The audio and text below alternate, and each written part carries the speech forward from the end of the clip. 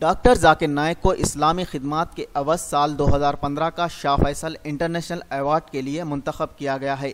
मक्के के गवर्नर शहजादा खालिद अल फैसल और इनामी कमेटी के secretary general Abdullah Al Hashman ने अल खजीमा सेंटर में होने वाली एक पुरवखार तकरीब में इनाम जीतने वाले अफराद के नामों का ऐलान किया।